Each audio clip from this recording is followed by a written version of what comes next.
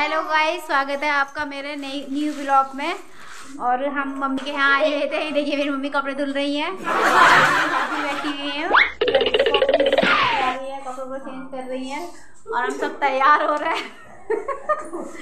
और ये देखिए, मेरा अभी अभी दिन भी सही है जो मैंने धूप में डाले हुए थे, हल्की हल्की धूप निकल चुकी है।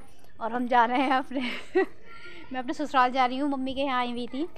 चार दिन हो गए अपनी भतीजी के बर्थडे में आए हुए थे हम गाँव आए हैं हम रहते हैं चंडीगढ़ और ये देखिए मेरी भाभी है ये। हेलो बोलो। बच्ची की परेशानी फैला रही है बच्ची की। अरे है ज़्यादा करते हैं जाड़ों में। बस ये है कि तो गाइस ये देखिए ये किट्टी है। कैसे खेल रही है। ये देखो। और हम जाने वाले हैं बस।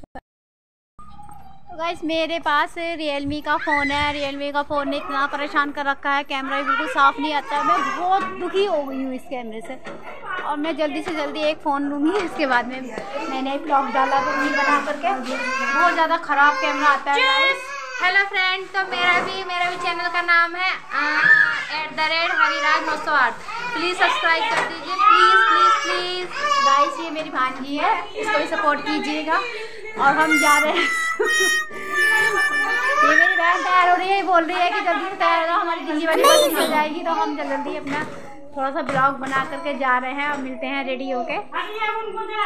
बाय तो गाइस हम तैयार हो चुके हैं। अब हम चलने की तैयारी कर रहे हैं। हमारी बस आने वाली है।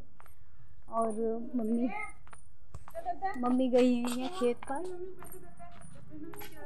देखती हूँ।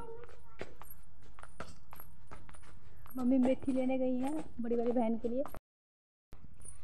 गाइस मम्मी यहाँ पर मेथी काट आई हैं और ये देखिए, ये हमारे साथ खेत है।